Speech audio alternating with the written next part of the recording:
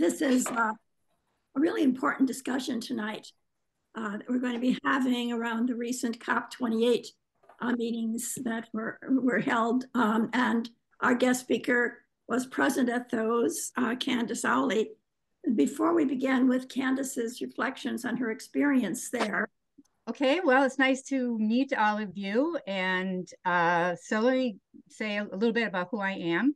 So as you know, my name is Candace Owley. Uh, I retired in early 2020 after 40 years of being the uh, president of the Wisconsin Federation of Nurses and Health Professionals. For that, I was a nurse. Uh, and uh, uh, that was a labor organization in uh, in Wisconsin, representing nurses and healthcare workers, of course. And uh, uh, we were affiliated with American Federation of Teachers, and as such, I was also on the National Executive Board for 40 years of the American Federation of Teachers, chairing their uh, healthcare uh, program and policy division. And in the last dozen years of my career, I was elected as the U.S. representative to a global union federation uh, uh, called Public Services International, and we represented 30 million or so, give or take, uh, workers, primarily healthcare workers in all of the regions of the world. Um, so that's kind of my background. I should, it's an aside, but I just wanted to mention my daughter, who at uh, in grade school began shaming me about not caring more about the environment is now an environmental law professor at the University of Miami, and she goes to COP every year since Paris. So she is an actual expert in this uh, in this area, uh, and she has a group that works on what would four degrees look like. So they have. A, she's not a very she's she's uh, she's a very upbeat person, but she's very pessimistic about wh- where we're going with the climate. So yeah. what I wanted to cover was how uh, how I got to COP, other than the plane, my experience as a first time attendee, my takeaways, and then some thoughts about moving forward. So, the League of Women Voters, since the inception of the UN, has been um, active and supportive of the UN in a lot of different ways. But uh, over the it developed something called its Observer program. And at first, it did send observers to the uh, U.S. Commission on the Status of Women, which meets every year in New York. And then later, it expanded to cover the COP. And so it was under that, in, in that capacity, that I was um, a formal observer uh, for the League of Women Voters at this year's COP, first time observer. Uh, I should say I'm also on the board of directors of the uh, Milwaukee County League of Women Voters and on their state and local committees that focus on climate and health. Um, so you guys know, and I'm going to even say maybe more than me, but I have to say, when I told people I was going to Dubai, people are going, "Oh, you're going shopping," uh, which I don't do, and so there it was clear that the vast majority, huge majority of people really had no idea what I was talking about. And and you know, they're going about their business, they're feeding their family, they're going to their jobs. And so while some of us get kind of like into this and into the weeds of it, it's kind of important to remember that, geez, you know, it's a lot of people just don't know what what this is that we're even talking about tonight. I, I, don't I shouldn't probably do this make sure we're on the same page. Just a point of saying that it, it was 1992 when the UN first established what was called the Global Convention regarding climate problems, not yet called the crisis, and that uh, at that time 197 countries, um, remarkably, including the United States under George H.W. Bush, ratified that convention. Of course, the last time we ever ratified anything. Uh, and in 95, they held their first meeting of these parties that had signed onto this convention. And so it was called the Conference of the Parties or COP. Uh, and it met every year, uh, even though mm, there wasn't a lot of publicity, I'm sure, in the early years. But a lot of people kind of knew something happened uh, in 2015 because there was the Paris meeting. And that's where you were just talking about the uh, agreement that we should uh, keep below two degrees and really aim for 1.5, which I kept hearing 1.5 is our North Star, or 1.5 is our North Star. Uh, and that going beyond that had uh, increasingly uh, devastating impact on on uh, people, animals, plants, everything. So that has been, you know, uh, their in their lingo and in their goal since then. Each country then set voluntary actions to accomplish that goal. And it's just a, you know, you guys know this, but the UN is a voluntary consensus organization, which makes it uh, does not impose things on countries. And uh, so that's important to understand when you're thinking about the fact that you have to get the United States and Canada, Russia, China, Saudi Arabia to try to come together in common cause for a common document. Difficult. Uh, so COP 28 for me, um, I think, oh, I'm going to a conference. You get a brochure, it tells you what's happening. No, it's not like any conference I ever attended. It's very complicated. It was about 900, uh, 90,000 people. It was the largest one ever. Has its own language, its own abbreviations. You can get way into the weeds on some of these things. Um, there are dozens of negotiations taking place uh, in the first week, which is when I was there, in putting together documents that will begin given to the the country leaders for the final negotiations on the final documents. And these uh, are taking place uh, every day in all kinds of rooms. They're dealing with mitigation, adaptation, financing, a path to something called just transition, and, and something called uh, loss and damages. Two things I'll talk about in a minute. So the negotiations take place with countries, uh, representatives from countries. So observers have no role actually other than to observe, which at, at some level I thought was kind of boring. But many observers do meet with their governments. I, I, I had some I met with some interest groups around labor rights, women's rights, and human rights. And they all had very specific languages that they were working to get included in all of the documents. And, and then many of them were then pressuring their governments to include the language in the final documents. I did not meet with our US representatives. From the labor standpoint, of which I was uh, in that caucus quite a bit, they said you don't need to meet with them. They are like one of the strongest. This this current delegation uh, was one of the strongest um, ones on language related to workers and workers' rights. So, in addition to, uh, well, I, I, should say, you know, it, it's it's harder than it sounds because there are many countries that actually outlaw any form of worker representation. And so you're trying to get them to sign on, and they don't even want the language of workers in there. Uh, so, in addition to negotiations, there are literally thousands of other events. There were these buildings called pavilions. Some of them were single countries like Canada and the United States and the Latin American countries and so on. And others were were organizations. So the World Health Organization was in a pavilion. They were within pavilions. There was the uh, World Wildlife Foundation, the Rotary. Weirdly, OPEC had one there for the first time. A lot of ocean related organizations, food related, farming, waste.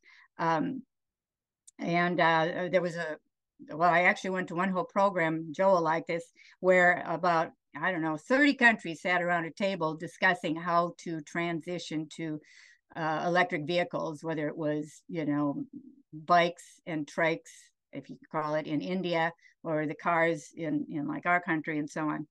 Uh, and uh, uh, and one of the funnest ones was a pavilion for youth and culture, and they had movies and and artwork that was you know brilliantly you know raising issues in a very graphic way around health.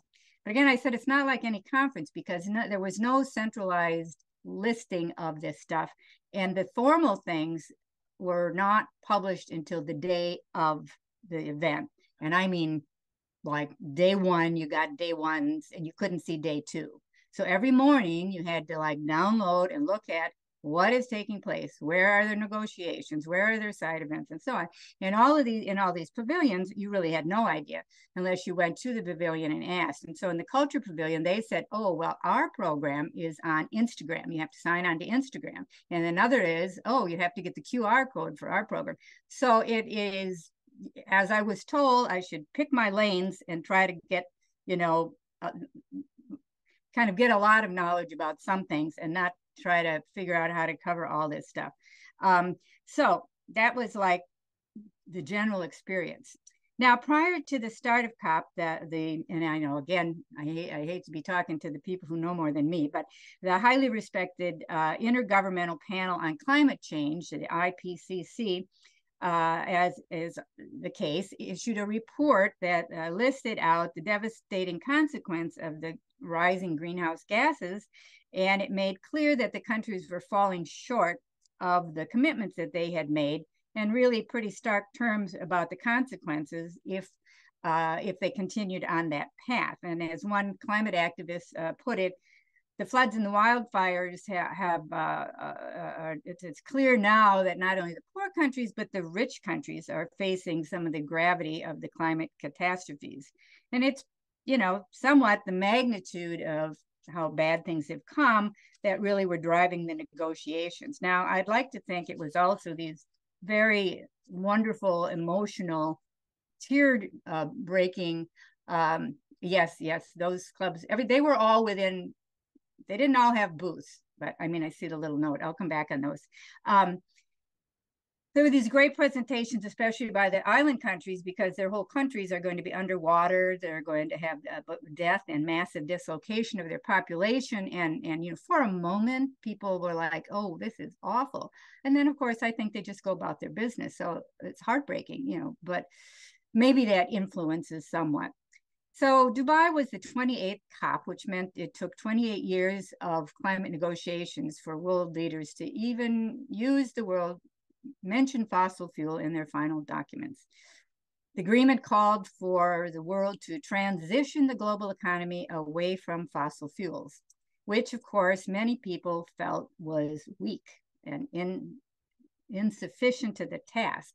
But even Bill McKibben, I read, said that he thought it was a positive step forward because it helps support our campaigns in our country to fight to stop fossil fuels in our country, the funding of fossil fuels. So in addition to the language that uh, regarding the phasing out of fossil fuels, fuels, which got a lot of attention, but there were a lot of other things that happened.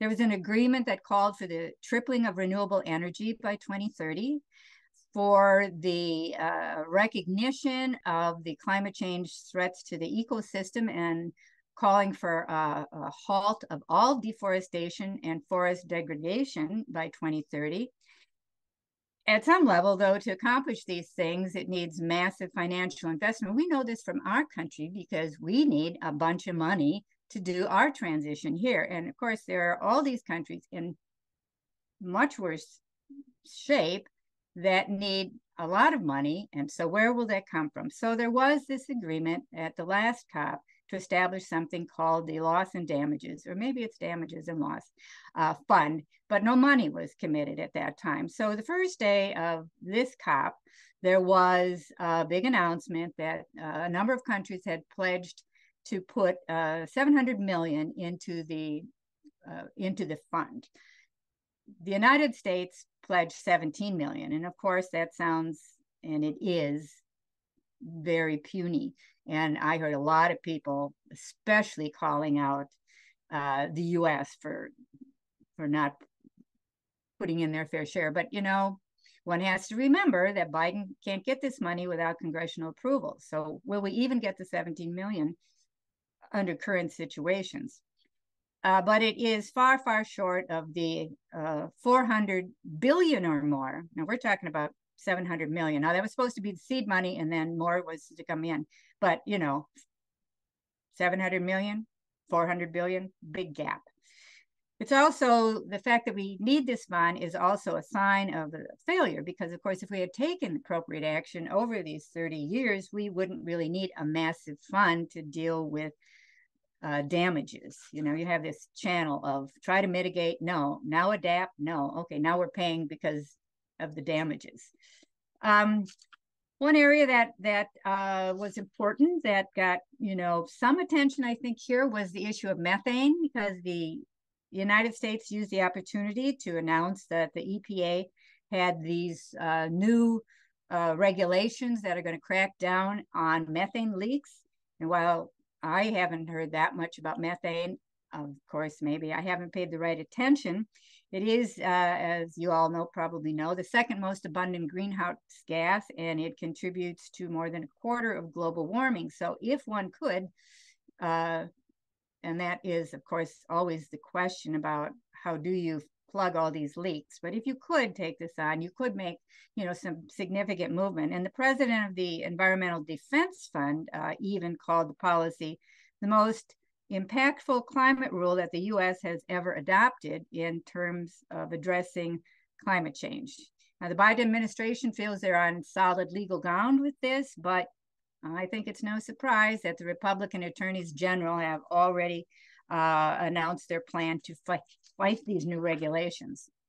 So, an area near and dear to me was healthcare, and uh, there was a whole day, the first day ever, uh, called the Health Day at COP. It was something that the World Health Organization had pushed for for I think 28 years, and it was led by the World Health Organization to let the world know that the climate crisis is the single biggest health threat to humanity.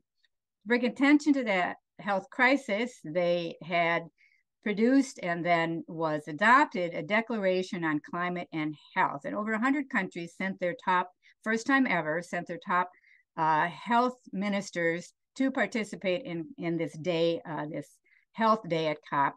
And the report talks about, of course, many of the negative uh, impacts of climate change and the need to, in the developing world, to really strengthen their health systems. Also, the need for early warning systems, particularly warning systems that we're going to about heat we don't think about that too much, but you know, uh, warning systems about heat, warning systems about the level of air pollution that you have, floods, and so on. Um, and their message was clear that climate change is killing us and urgent action is needed, and that health is the human face of the climate crisis. Uh, Dr. Tedros, who's the head of the WHO, uh, really made a pitch or a plea or whatever you'd want to call it, to healthcare leaders and practitioners like nurses, like me, that we have an ethical responsibility and we have public trust in order to be the ones who make the crisis real to policymakers and the public by using this public face of climate. He says he believes that it's a, a, game changer, that yes, yes, people care about polar bears, but they really care about children dying from asthma, and that we have to change that up and make that um, uh, in all of what we do of talking about that. The on separate from COP, but on point, just like a week ago, the Journal of American Medicine just announced that they're going to have a new focus on climate and health. They're going to be putting out videos and publishing many articles now on the health impact of climate, which I think is great and it'll be very useful for all of us. But again, these are signs of how bad it has gotten that this attention is being paid. Because I'm a labor union person, I went to the group that focused on um, trade union issues, and they focus on something called just transition, which is a concept that the human rights groups also uh, uh, found um, uh, that was very important. They were pushing for. From a labor standpoint, it's about uh, just transition has to do with the impact on workers uh, as and communities as you move away from the world of today, uh, the fossil fuel world of today, into the green jobs and renewable energy of tomorrow. There's no dispute that this is going to be massive uh, job displacement. There will be thousands of new jobs created, thousands of jobs eliminated, and they won't automatically be the jobs created won't automatically be where the jobs are being lost. So just transition idea is that you've got to create systems that mean that people are losing their jobs will be trained and supported and you look to put the new jobs in the communities where their jobs are being lost. So factories closing, factory renewable factory opening in that same community. And um, without that, they said, you know, we just transition. It is not just transition.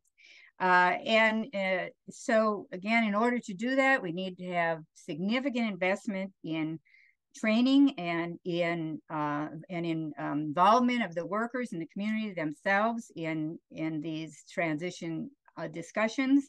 And honestly, if the workers, the communities are not part of this huge shift, then you're going to have massive resistance to the change. But if they are part and they can support it, they will be champions and advocates of the transition. And just to mention briefly that the, you know, the UAW strike was uh, in part over this very issue. Uh, and digressing, NAFTA did not do this right. And the job loss and such led to some very bad political consequences of what happened there. Um, there was a gender day. Uh, Hillary ran a whole day that was, they said it was the first ever day devoted to gender. Isn't, now that was a terrible sadness to me. But you should know she is still hugely popular on the global, with the women from the global community. So standing room only for all day. Uh, and she had, you know, the whole series of people that were there. And they were discussing the importance of having women at all the tables where climate uh, change is being discussed, whether it's funding or mitigation, adaptation, blah, blah, blah, that women uh, need to be partners in tackling the global crisis. And they mentioned that in terms of jobs, this was upsetting. Nine out of 10 women lack the skills needed to be hired for the new green jobs. And they stress that women of all ages, from school on up, need to be provided with education and training to succeed in the new green economy. And if we don't, we will have an even more uh, widening gender wage and opportunity gap. I didn't follow food. Other people within our group, that was their issue. But it, they were excited because there was, again, a day related to food and the first ever declaration on sustainable agriculture, resilient food systems, and climate action. Again, there is a report on this. It was signed by all the major countries and it outlined uh, the unprecedented, of course, the problem, adverse impacts uh, from climate, threatening the food systems, hunger, malnutrition, economic stress. It focused on the human right or the right to food and to have safe, sufficient, and affordable food. And it affirmed that agricultural and food systems have to urgently adapt and transform in order to uh, respond to climate change. Now, it had a lot of far-reaching goals, and they uh, there was a commitment that every year they will, starting next year, they will be looking at the goals and seeing what progress has been made. So, um, in closing, I would say that while I would, I believe, and I don't think hardly anybody would disagree with that, COP has its flaws it's voluntary. It's hard it's incremental. It's hard to see progress and it's so it's it's you know you have to say is this worth it? But many many activists many i talked to but many that I, I read about said they still believe it's needed because it is the only global forum that forces the whole world to uh, look at what's happening and to where possible work together uh, to look for for solutions and changes uh, that will help uh, save our world. It's also a place where indigenous communities, of which there were many, you could see many, many groups of indigenous people, uh, human rights activists, small island activists, uh, labor activists, they at least have a chance to be there, to be in the rooms, to make their cases, and to work to push for better outcomes at these uh, these meetings. I didn't get into it, but there's lots of demonstrations. I, I mentioned to Terry, I love the one that every day they had an award that they gave out. They had a big dinosaur that danced around, and they gave the uh, the fossil fool of the day award out. Countries sometimes, uh, corporations some days, but you know, uh, we know that the, the COP important, whether it's important or not, it won't save our world and that that's really up to us. It's still far too easy for most of us to ignore the problem We turn on our air conditioner when it's hot. We jump in our gas burning cars and say, well, until there's plugs, what can I do? We eat our, continue to eat our meat based diets because, you know, we don't want to like change, right? Uh, we change out our air, fil- air filters this summer when there was smoke everywhere, close our windows and improve our air filters and go about our business. But in the meantime, every day more children are dying from chronic asthma. They didn't even, when I was a young nurse, that was not a thing. Little kids did not die from asthma. It wasn't a thing. You know, anyhow, mosquito and tick-borne diseases are moving closer and closer to uh, to us. Um, they're coming to our cities.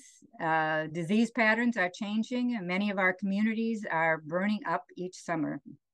We just have to, you know, be live in fear of what this next summer is going to be like. And the only reason that I'm hoping, which is a negative thing to say, and I'm very apologetic, that maybe Canada will light on fire again during the Republican convention.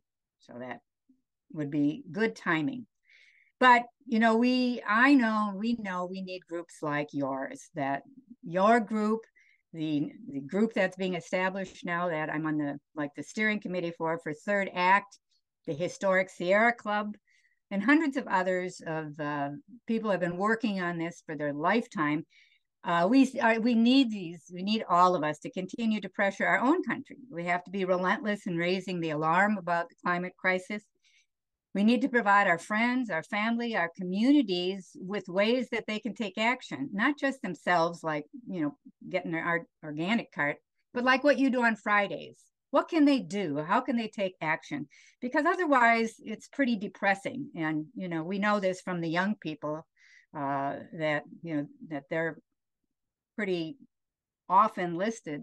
This is one of the signs of depression of young people is about what's happening with the climate but no government or corporation or even advocacy group alone can save our world uh, each and every one of us has a role to play our children and our grandchildren, of which I now have five, uh, are depending on us. So um, I just say, let's not let them down. And I'm happy to answer questions. And I know somebody's going to be making some comments, uh, follow up comments first. So thank you.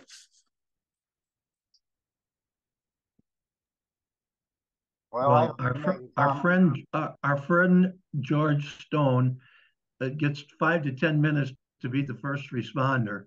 And then we'll open it up to anybody who wants to uh, ask a question or uh, present an opinion. So George, I'm not going to give you a long introduction because I want to get right to you. Well, first of all, I want to thank Candace for uh, an excellent presentation, a lot of great information, and it helped us kind of participate in the COP28 meeting. And so thank you very, very much, Candace. Welcome okay, George, what was your uh, opinions? Well, I I've, uh, I attended the uh, COP 15 in, in Paris back in 1915 I, or 2015, I should say. Mm-hmm. Eileen and I attended that, uh, and um, that, that, seemed to have accomplished more at the time. But uh, I know my good friend and uh, scientist who visited here, Mike Mike Mann, Michael Mann. Michael Mann uh, said, well, it is uh, weak tea at best, referring to the accomplishments of COP28. And that seems to be the general attitude of climate scientists. They are so frustrated by the lack of appreciation of the seriousness and urgency of this problem by the general public, and they're frustrated by the slow progress. Now, for example, Candace pointed out that this was the first COP meeting, number 28, the first COP meeting which identified by name fossil fuels as the principal cause of greenhouse warming. Now, just think of it. They've had 27 meetings and they never pointed the finger at fossil fuels. You know, and where where was this meeting held? Abu Dhabi, in the middle of the oil patch. Uh, this this is, but on the other hand, almost 200 countries, I think it's 197, participated and agreed uh, that's really a marvelous achievement in itself. And uh, it's the, these meetings are going to continue. It's there's very small steps, and as Michael Mann said, weak tea at best for COP28. But but nonetheless, they are steps. And so uh, I'm encouraged, frankly, that the process is taking place at all. Uh, think of another topic, think of another endeavor in which 200 countries, virtually all the countries on the planet, uh, meet on an annual basis looking for solutions. So I, I think it's being recognized. Let me make one last point. Not only was this the hottest year on record, 2023, but uh, the number of billion dollar climate related disasters in the United States reached a record level. I think it was 20. Uh, as the climate change impacts uh, negatively impact more and more people and more and more businesses, uh, then the uh, interest in doing something about it will increase. Uh, one thing we need to do right away, and which was specified at COP28, is stop uh, subsidizing the exploration for oil and gas. Uh, we mm-hmm. still give a tax break. Uh, ExxonMobil, you know, read $40 billion a year. ExxonMobil doesn't have to pay. They can write off on their federal tax uh, the expenses they have for exploring for new oil and gas fields. What kind of nonsense is that? It's because too much of the Congress is in the pockets of the fossil fuel industry. And let me remind you, the fossil incidentally, if you'd like to learn more about the history of the fossil fuel industry, read Rachel Maddow's wonderful book. Uh, what's the title? Prequel? No, the first one. Oh, blowout. Blowout. That's it. Like an oil well blowing. Wonderful history of the fossil fuel industry. But realize the fossil fuel industry is the most profitable industry in the history of humankind. And they have immense power and they've been using it. James Hansen, and I'll finish with this note. James Hansen in 1988 addressed Congress, showed them his computer model projections, and showed what global warming, which it more properly should be called, that global warming was producing a steady increase in the heat content of the earth, a rise in the temperature, and he made some uh, predictions based on his computer models of that of that time, 60 years ago, 50 years ago. But we've known about the point there is we've known about this problem for a long time. And because of the influence of the money, ExxonMobil and friends, we haven't done a darn thing about it. Well, let's keep pushing the COPs. Let's make the steps bigger, but uh, at least we've got an avenue to follow. Thanks. Thanks, George. Uh, Eileen, do you have anything to add since we got your picture right up here? No, sorry. I agree with we need to do stuff. Yeah, I'm sorry. All right. Incidentally, okay. Candace mentioned the University of Miami, my alma mater, the U, as we call it down in Coral Gables. All right. That's where well, my daughter lives, Coral Gables. So. Well, let's open it up. Uh, who wants to go? I see uh, uh, Dean. Yes, uh, thank you, thank you. I, am representing Wisconsin for environmental justice. We can talk about that. Hopefully, we got time for that. I would think we would at some point in the meeting. But my question for Candace is: I read in the the news reports that the uh, the fossil fuel industry had as many as 2,700 lobbyists there. Did you notice that? Well, you know, there were 90,000 people, so they didn't have signs on. Well, it seemed like they the were people you could notice. I mean, it, the people you could notice were the indigenous people because they were in outfits, right? so, yeah, well, it certainly so indicates I, that the, the fossil fuel industry is is nervous. They're scared. They yes, they, they want to they, they, they want to have input. Yeah, yeah in so in a little way, way it's right. a good sign, maybe you know, to mm-hmm, say that right. they were that they are now that nervous that they have to be there. Right, exactly. Right. Mm-hmm. Good presentation. Thank you. Anybody else want to jump in? Yeah, I'd like to ask Candace something. Thank you for your presentation. It's very good.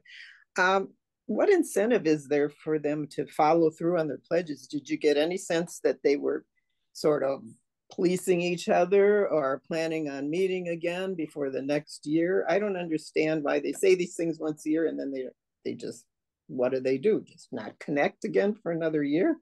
yeah. Well, I mean, I'm not again, I I'm not the in the weeds expert, but yes, there are meetings throughout.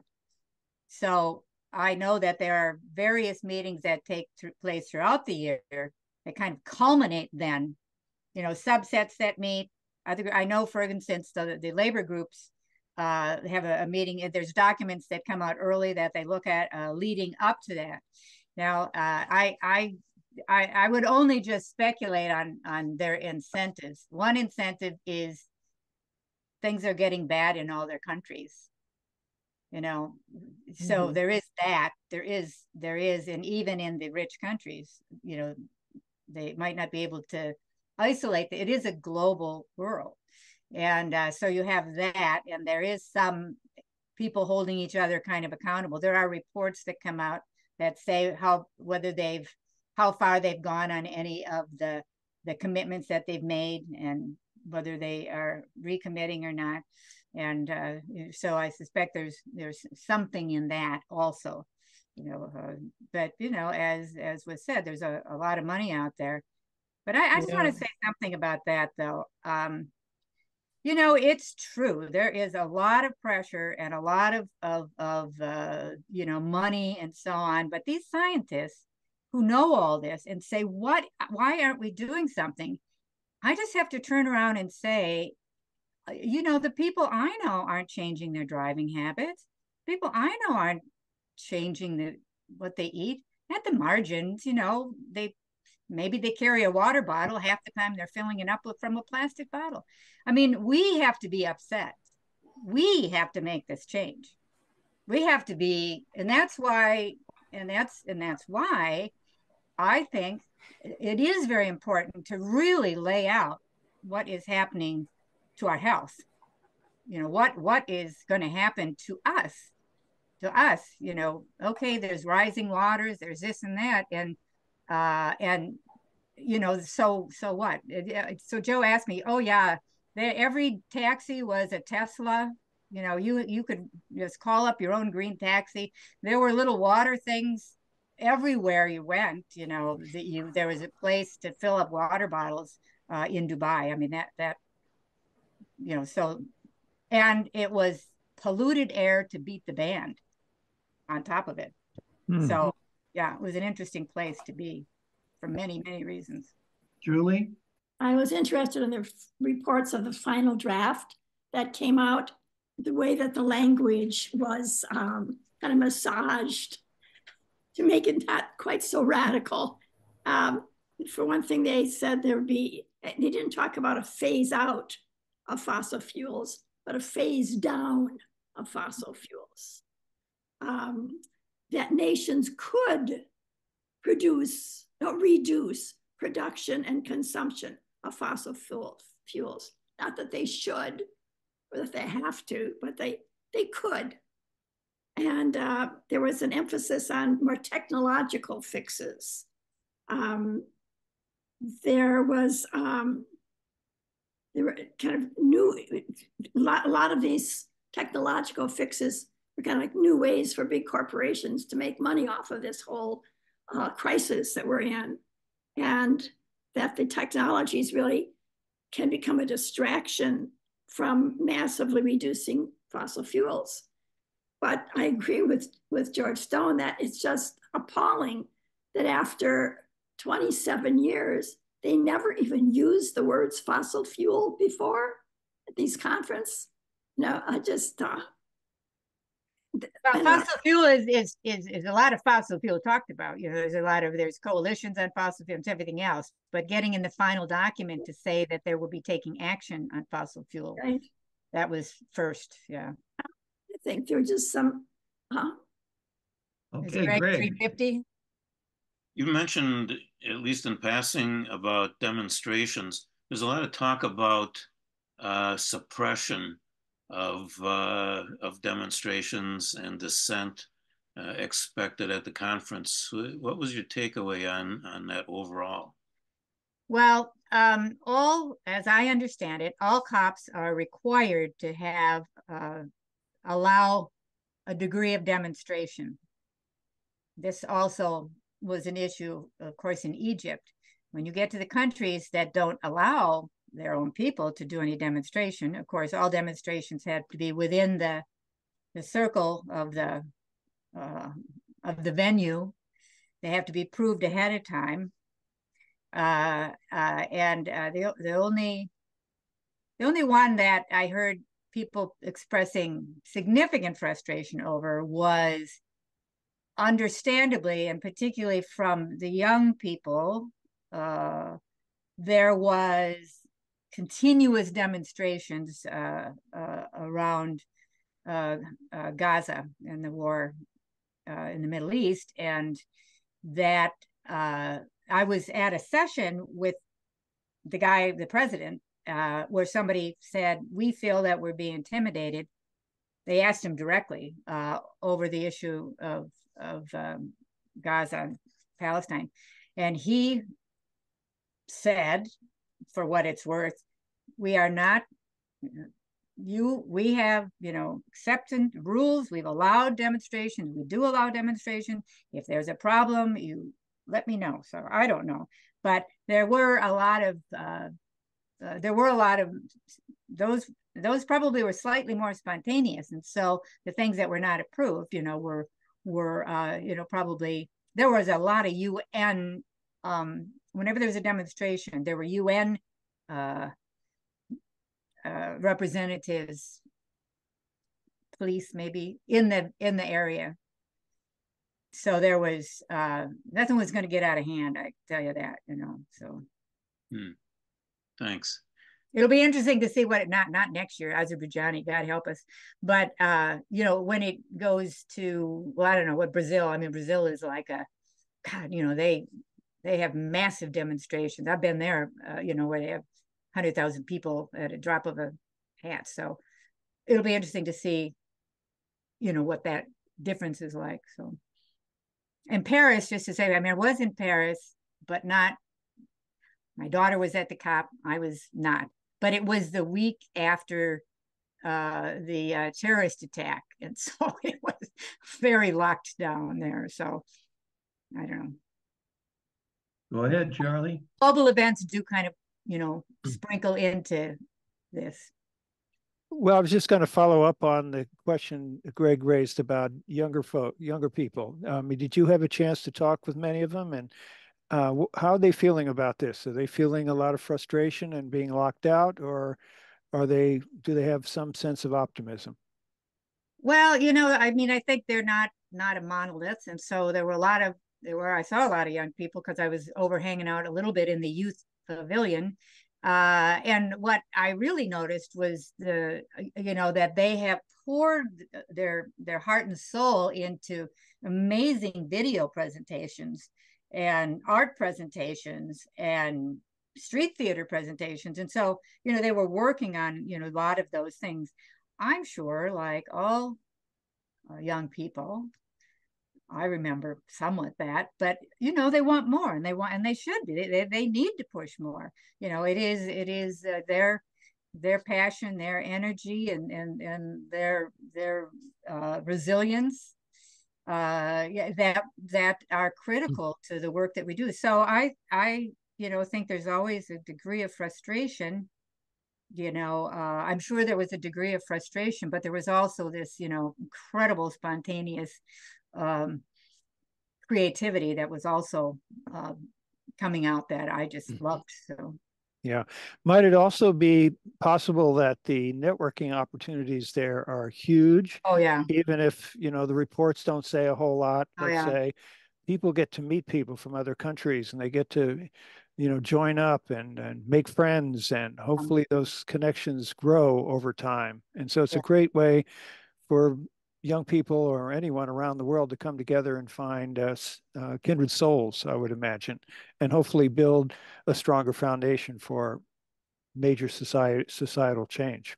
Yeah, just on that point, some of the people in our delegation, one does, she takes groups up to the polar regions and she she was i mean she was networked throughout the place she she was able to connect to so many people for the work that she is doing you know, around what's happening in the polar uh, caps. And so she she felt successful. Great. Not happy maybe about the language at the end of the day, but there were so many uh, people, like-minded people that she was able to connect to. So very much on your point, Charlie. Great, thank you.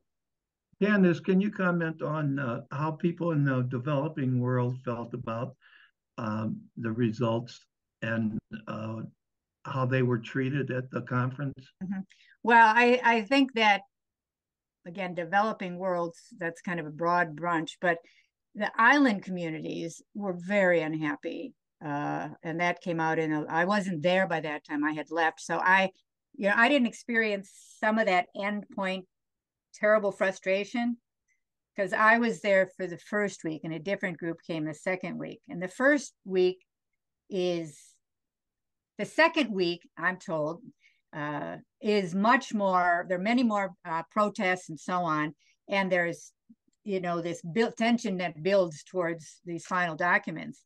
And uh, uh, so I would say earlier on, there were, although the human rights group, which which was very young, and I spent some time with them until they all got COVID, and then I was like, okay, I think I'll let you go. But they they uh, they were kind of frustrated from the beginning trying to get certain language in there. Uh, and so they were always working to get some improved language uh, in. And I don't know at the end of the day how they felt about it. But I did see the reports about the the uh, island, you know, the coalition of island communities that were like out of the room when the final gavel came down. So I'm sure that was uh, very upsetting, you know. Is it Dennis next, maybe? I'm Dennis? Yes. Um, thank you, Candace, for that uh, great uh, presentation uh, description about what happened over there. I'm thinking, uh, given the news that came out today, that uh, we have to um, uh, change the goalpost here. We're not even at 1.5. And today, and maybe the news came out yesterday, but they were saying how the experts, climate, uh, the global warming experts, are surprised um, as the result of the information that came out uh, this summer that things are, um, that the environment is a lot more sensitive to these changes than they thought, and also that um, the extremes are more dramatic than they realized. So, uh, like I said, we're just at uh, 1.5. And as far as I know, we talked about a little bit the last meeting, that unless we start uh, removing the CO2 that's out there, what's already up there is, is going to cause changes that will exponentially increase. So despite all this hard work, like I said, I don't think the uh, uh, I don't think the uh, goals are nearly drastic enough. Well, certainly the actions are not up to the task yet. That's there's no doubt about that. Um, and again, I, I I put that on a wide range of not just that conference, but every day what everybody does, and acknowledging everybody's part in finding solutions too. But I think raise, using these reports, you have to keep using this information to agitate. I mean, isn't that what you all do? I'm out of labor movement, so you have to, you know, agitate to get change, make people, you know, educate, agitate, organize. Yeah, yeah well, George, you got the American Federation of Teachers. That's what we do. Yeah. yeah, they should get them in. Methane, CH4, what we call natural gas. Actually, the compound methane makes up about 83% of what we call natural gas. It is about, it's indeed a very power, potent uh, greenhouse gas. It's about two dozens times as effective as carbon dioxide. So a little bit of methane does a lot of warming. Now here's the great danger. Much of northern the northern hemisphere across Canada and uh, the, what was the Soviet Union across Russia, the Russian Arctic, uh, is tundra that's been frozen, permafrost, and it as the as the planet warms, it is slowly melting. Now that that tundra, that frozen permafrost, has a lot of organic matter in it. If that or organic matter decays in the presence of oxygen, it forms CO2, or ordinary greenhouse gas. If it decays in the absence of oxygen, it forms methane. And the potential for the melting tundra in the northern hemisphere to contribute enormous amounts of methane to the atmosphere is virtually unlimited. That's a great, great danger that we're not, we don't even talk about it. Um, well, we talk about it tonight. I think Tom.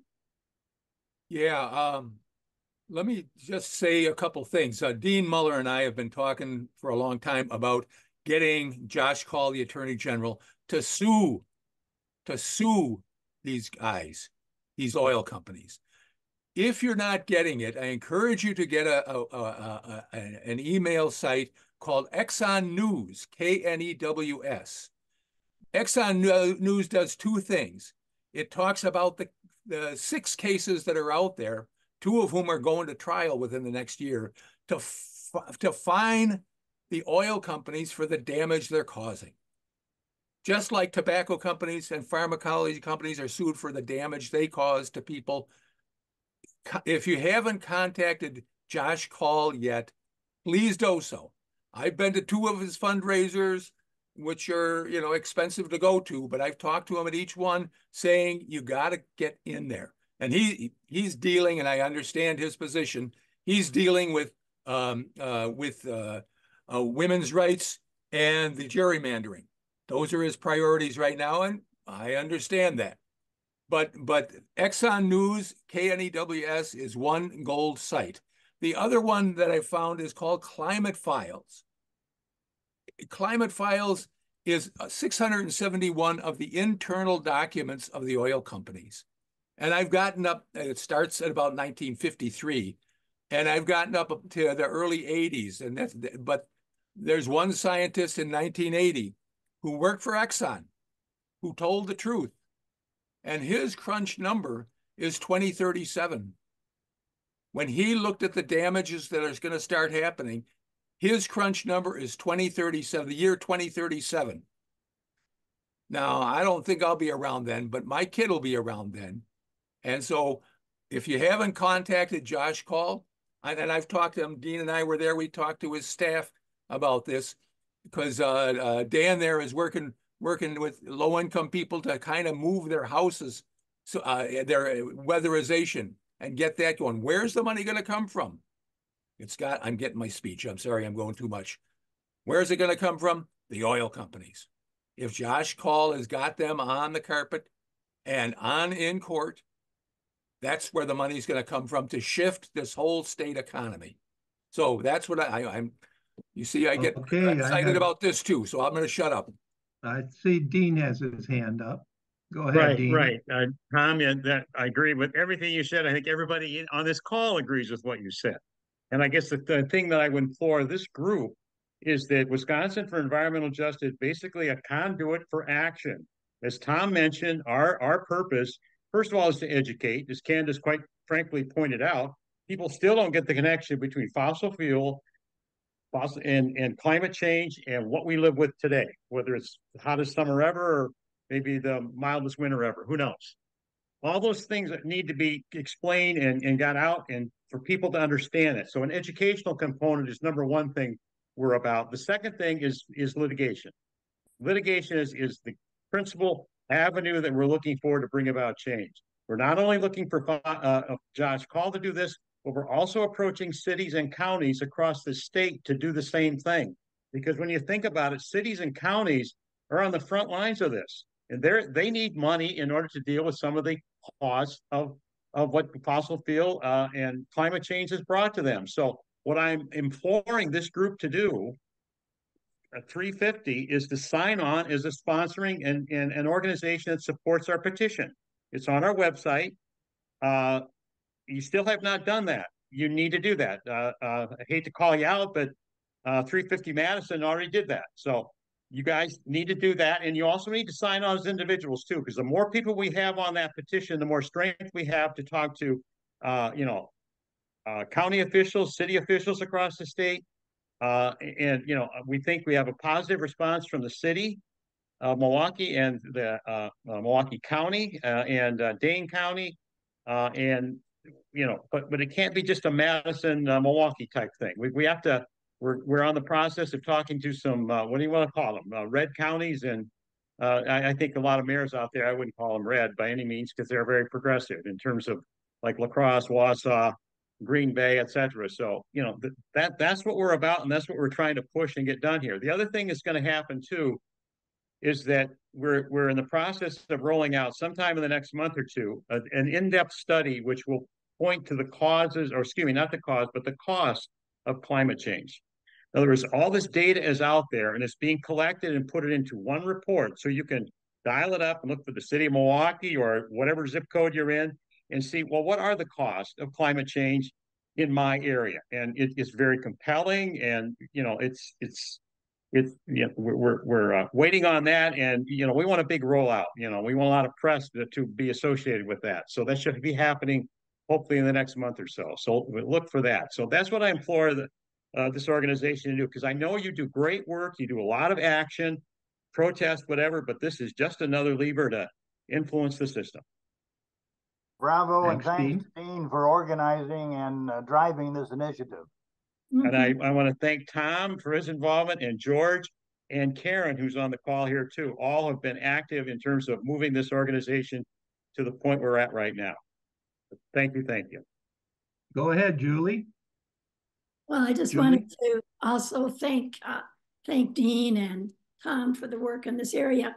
And it's important that we use many different tools and many different avenues to attack this problem. There's no one right way or one best way. I think we, uh, everything from our own personal lives to really striking hard at the corporations uh, through legal means and boycotts. Julie, I, I, I couldn't agree more. You're absolutely right. We need to pull every conceivable lever and use every avenue of influence. It's that big a problem. No question about it. And if I might on that, you know, the uh, you all know this, but uh, you, you know, the children's uh, uh, case uh, came out of Montana, but you know, they're doing them in every state where they can, where they make sense. Because I know one of my daughters, uh, her TA is one of the litigants in Florida, but also, interestingly, I don't think we'd have the same chance here. But on the uh, first time ever in, in England, the death certificate said air pollution was the cause of death for a child. And in that country, when when you list the cause of death, you have to list remedial action. And it is now leading to, so that was a pretty interesting, novel uh, approach. So this whole the idea of saying many approaches, many levers, uh, some litigation, some action, definitely education. So, Greg, go go first. Yeah, Dina, two things. First of all, would you send that uh, petition information to 350mke at Gmail? Uh, get it in front of us at least. Um, and the second, you talked about uh, educating people, which is something that we've been trying to do for years. Uh, what methods are you using to get the word out to people? And as, as Candace pointed out, uh, you know, she said, uh, she mentioned she was going to Dubai. Uh, you know, people didn't know what the uh, expletive uh, she was talking about. Um, and that is generally true. I would say that 90 to 95% of the people that I know uh, really don't comprehend what it is that we're talking about. How do you, as an organization or even personally, reach those people? Well, I guess the first, the, the, short answer is uh, certainly we rely on social media and we're getting better at that. We're building that out as quickly as we possibly can. If you're building a statewide organization and trying to do it, to do it quickly, uh, that that's a primary goal. The other thing uh, is to connect with other organized networks. Uh, we've had conversations with Building Unity and also the Wisconsin Network for Peace and Justice. So again, those are organizations that have done a fabulous job of organizing and building coalitions of, of social justice groups. And this, of course, is very much in their wheelhouse. Mm-hmm. We're not forgetting about faith groups either, because there's a lot of coalitions that center around faith and uh, social justice. And uh, but also, of course, we mentioned youth a number of times in this uh, meeting. And of course, that's the way we can connect with uh, the youth uh, uh, very quickly. But certainly, I think we're all coming out of the foxhole after the COVID foxhole, if you want to call it that, in terms of face-to-face meetings. I'm certainly uh, available to make presentations. Would be happy to do that. And uh, just to explain the whole concept of what we're talking about in terms of what is this litigation, how does it work, what are the bells and whistles of it, and so forth. And some of the groups I speak to have, you know, have a great understanding of what climate change is and how it's connected to fossil fuels. So I don't need to spend a whole lot of time talking about that. I'm preaching to the choir in some cases, but I'm, I'm, I'm talking more about the nuts and bolts of how this litigation is is put together and how, how it's moving along in different parts of the country. So, and again, I, I preface that by saying I'm not a lawyer, but you know, that that's the essence of what we're working on. It's very much the legal aspect. And again, like like Tom uh, pointed out, is very similar to the tobacco litigation, the opioid lit litigation, uh, the Kia lit, uh, car, you know, uh, getting broken into, uh, you know, uh, the lead paint, etc. So cities and counties, you know, have done this and it, it's it's not something they're, they're going to charge the taxpayers in, in legal fees to do this. They're going to retain an outside firm on a contingency basis to do this. They just need the political will to do it. That's the bottom line of this. They, they can't okay, they can't argue all the taxpayers are going to push back because it's going to cost too much. No, it's it's not. And of course, is it a long game? Sure. Is the checks going to come in the next six months? No. But again, there's there's 30 entities across the country that have filed and they're moving through the system, like Tom very accurately pointed out. And it, it it's it's happening, it's moving, and it, it it's it, but it's a slow moving train. We need, just need to push it harder. Karen, thank you. I I think one of the problems with the education piece is that um, I would say that a lot of people are just overwhelmed that they actually don't know what to do. It isn't that they don't necessarily know or haven't heard about this, but they they concretely either don't know what to do, can't afford it, are so overwhelmed with personal problems sometimes that they can't they can't act. And um, you know, I I guess when I brought it up with people, I haven't heard one of them say they didn't. You know, they all agree this is something that needs to happen. We need to work on this. But um, I think we got a depressed nation in some respects, and um, and we also have a nation that's um, our children are being um, oftentimes uh, lost in their phones and stuff, and it takes away from their ability to be present to the world and to people. And um, you know that's that's a separate separate problem we are dealing with so many issues simultaneously that um, Karen, if they're if they're if they're locked in their phone, we're going to find them with social media. Okay. Just make sure it's the right social media. They're not on Facebook. Exactly.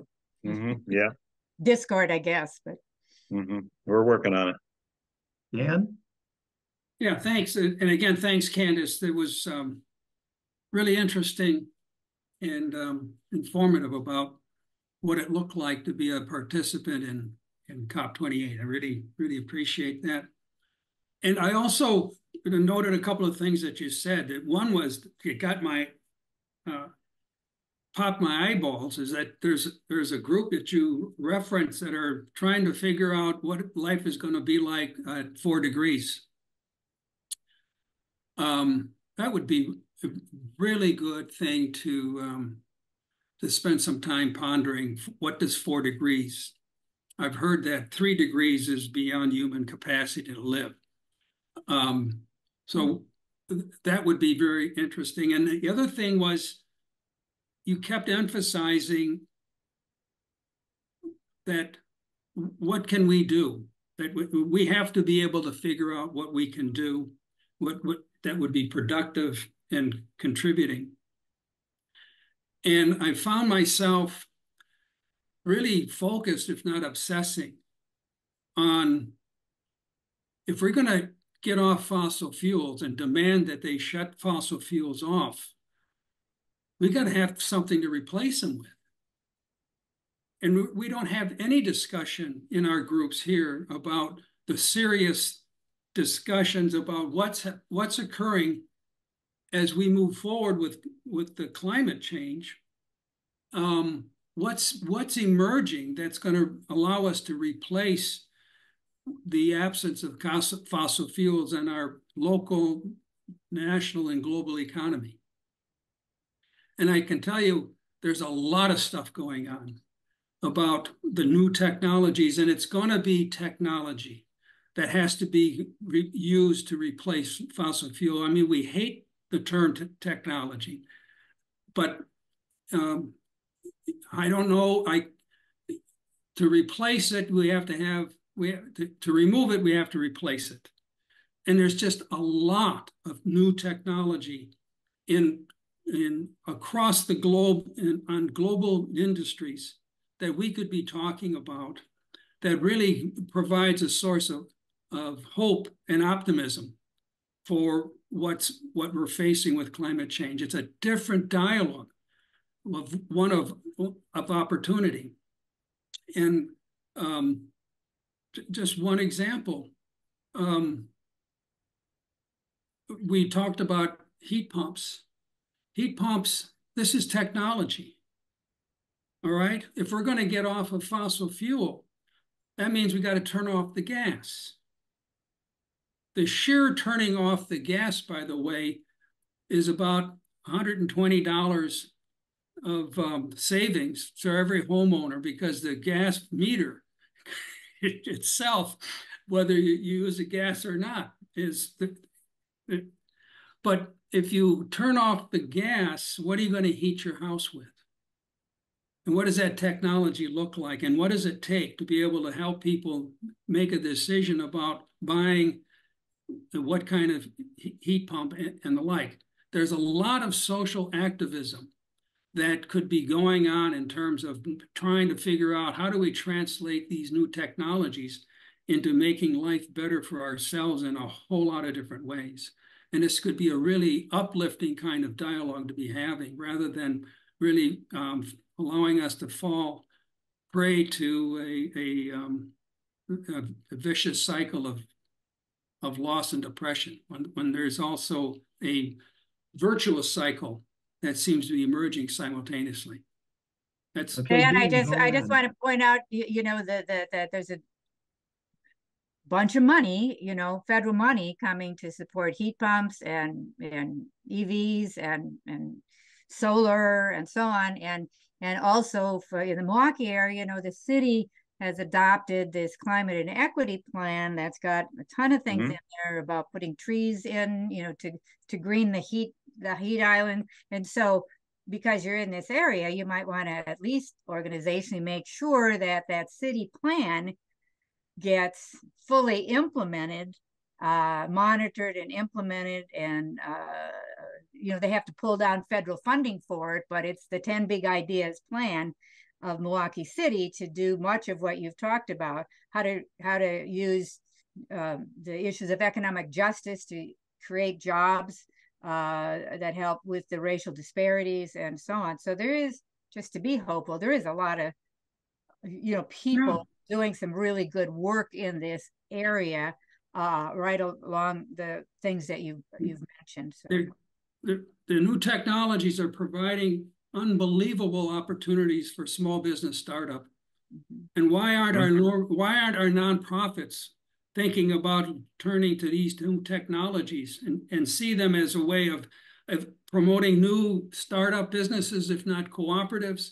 And we can be on the front line of creating the jobs and, and the like based on these new technologies. And I, uh, it's not just getting the money from the government so that you can buy heat pumps. There's an industry that needs to be rebuilt, built anew to support hmm. this technology. And these are jobs. These are the green jobs. Right. Um, but I don't hear. Dean, um, I wanted Dean to get in here. He's had his right. hand up. So I, I, Dan, I, I couldn't agree with you more. I don't, I don't want to take up any more time, but, but it's it's it's about innovation. We have a we're a very innovative country. We're already seeing this innovation take take place. It's the S curve. Eventually, it's going to tip. Honest, it's going to tip, yes, and we're going to go from EVs to you know to and, and we we won't see gas combustion cars anymore. I mean, we went from horses to cars in a in a decade. You know, there were horses all over the place and poop all over the place, and then you know uh, a decade later, it was all cars. Okay, it's going to be shorter and it's going to be quicker and it's going to happen. So we don't want to be entirely negative, but I agree with every word you said in terms of innovation technology. We've got a good flow of money from the feds going on right now. We have an industrial policy in this country for the first time ever, as far as I can see. The whole concept of bringing manufacturing jobs back, etc. It's it's it's it's a work in progress, and you know we we we mobilized for World War II. What two two and a half three years? We had nothing in in, in that. That's a bad example in terms of we got ready to fight a war that needed to be done. I guess in terms of fascism was on on on, on the brink, but we made the change, and we can do that. We can do that. No question about it. Jan has her hand. okay. Um, yeah. Well, when when um, Dan brought up uh, alternative to uh, well other means of getting green energy. It reminded me that uh, Miss America made a speech at uh, COP about um, nuclear energy being you know a way of generating green energy, and I'm wondering what kind of response there was to that, and if that's even uh, something that's a viable option or not. Well, I can at least comment on that because I was with some of the nuclear, uh, well, not with the nuclear people, like they have these little nuclear things now that are being developed and uh, they were just saying it's more popular outside of the united states than in the united states um, but that there's a lot of movement on, on this. I was talking to a union guy that works in this area and so at the cop. Okay thank you. Go ahead george. Uh, as far as alternative energy goes uh, i just want to recommend there's a Renew Wisconsin is a very active uh, organization in that area. They've been very active. Michael Vickerman was the founder and uh, one of the drivers. They've been around 20, 25 years. They have an annual summit. It's called the Renewable Energy Summit in Madison at the Lake Mendota Center. So I strongly recommend you look that up and register and go to it. Uh, Wisconsin, I have learned by going to that conference, has done very, very well in installing solar electricity throughout the state on farms because there are grants and reductions that you can get in the co- in the cost. So Wisconsin doing pretty well. Um, wind, there's great potential along along the lake, which is not being utilized for wind energy. And if you ever dri- if you've driven recently through western Iowa, it's just covered with wind turbines. We we have a long way to go in that area. And of course, transportation, electrical cars are uh, on the upswing, although there's a long way to go on that. Nuclear fusion is a dream for uh, almost a century. Um, and it, it, so far, a practical way of uh, translating the energy from nuclear fusion into usable energy has not been well uh, identified. So that's that's a that's still a dream. I think we might have to put it in that category. But there's a lot of money being spent in this research, and uh, I think we're going to do it. Uh, I just want to say, Candace, thank you so much for your presentation. And uh, this was really a great discussion. And Tom, we're going to give you the last word. Thank you. We had we Peace Action had a little discussion about uh, nuclears.